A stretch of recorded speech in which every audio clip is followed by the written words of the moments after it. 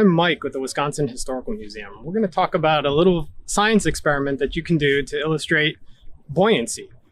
Have you ever found anything interesting in the water? A shell, a rock, maybe an animal? Well, underwater archaeologists dive deep into the water to find shipwrecks.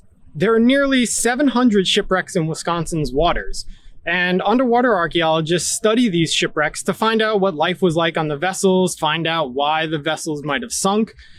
And so we're going to do a little bit of an experiment to, to see how they do it. Have you ever tried to sink to the bottom of the water? It's kind of hard. And there's a concept, a science concept called neutral buoyancy, which is what makes it kind of hard. It's, it's why you float in the water more than you sink. So we have a little experiment here that we're going to show you how to do so you can learn a little bit more about neutral buoyancy. Now, make sure that you do this with a responsible adult, and we're going to show you how to do this science experiment.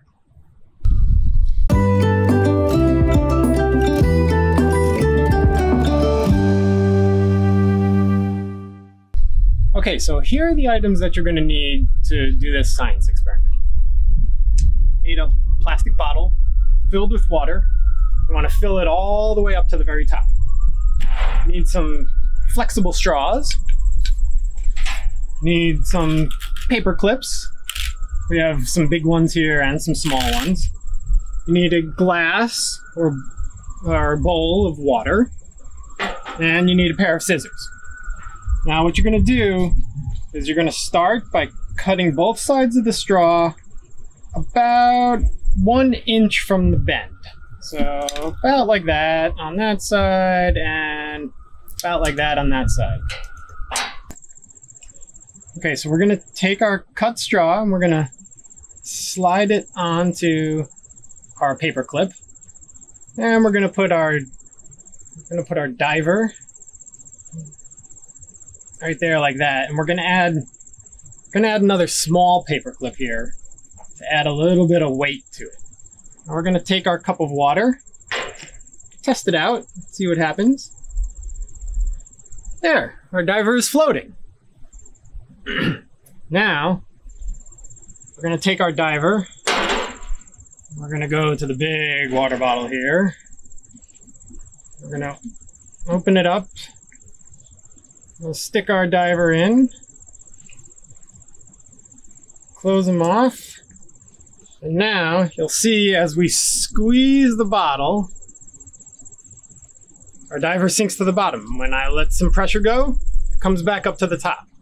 Doesn't take a lot of pressure, just a little bit of pressure, just squeezing the sides.